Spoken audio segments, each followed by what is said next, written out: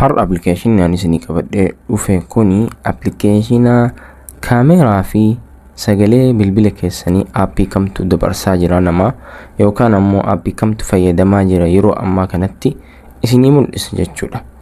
Open jettaniin eegasi hayyamanni isin gaafatu hunda isaatu hin kennitanii fi eegas jala kanatti ofirraa onitti deebistan jechuudha akka inni isinii appilikeeshinoota maraa iskaan isinii gochuu jalqabuuf. Appilikeeshiniin ulfaatu bilbila irratti illee akka argitan kan asirratti nama hedduutu buufate nama kuma dhibba jala yoo deemtanii qaraatan afaan ingiliffaatii fi arabiin namni waan gaarii irraa haasayan jechuudha.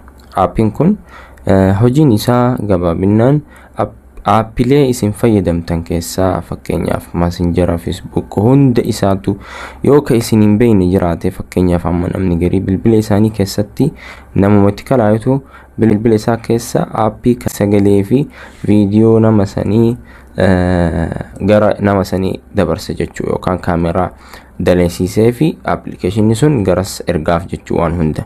Kanaafuu nuti appilikeeshina kanaan yoo aappiin nuti hin beekne bilbila keenya keessa jiraate nutti himaa nuu baasa jechuudha. Akkuma argitan kanatti akkuma bantaniin inni yoo aappii wahii argee isinii baasaa isinii mul'isaa yookaan waan bulee yookaan diimaa wahii asumarratti iskiriinii gubbarratti isinii baasa jechuudha.